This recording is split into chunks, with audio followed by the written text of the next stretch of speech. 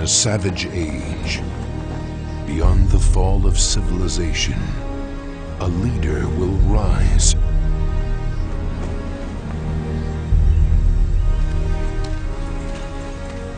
To rebuild and restore what once was.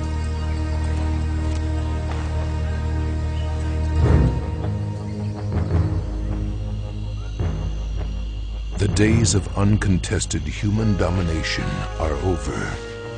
Two armies in sight. The smell of battle is in the air. And the drums of war begin a dance of death.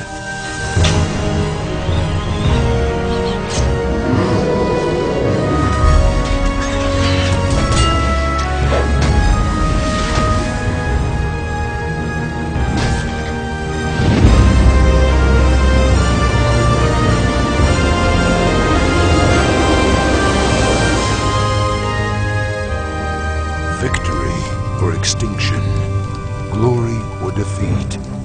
The very hand of fate lies in the warrior grip of the savage.